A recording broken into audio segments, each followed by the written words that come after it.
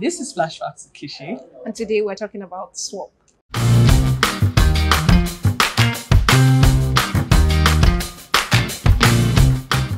Let's quickly talk about how easy it is to exchange your pounds for naira on Kyshi at your own rates with swap.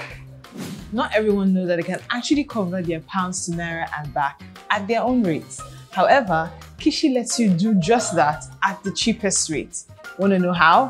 Chidera is going to tell you. The first step is to log into your Kyshi app, click on send and select the swap option.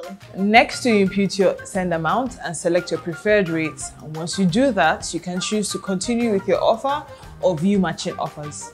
After settling with an offer, proceed to transact and that's it. Your transaction is completed within a blink. And here, lest I forget, all transactions cost you only 1% of your transaction amount. Cool, right? Thank you for watching Flash Facts with Kyshi. See you on the next episode. Until then, keep using Kyshi. And don't forget to like, share, and subscribe.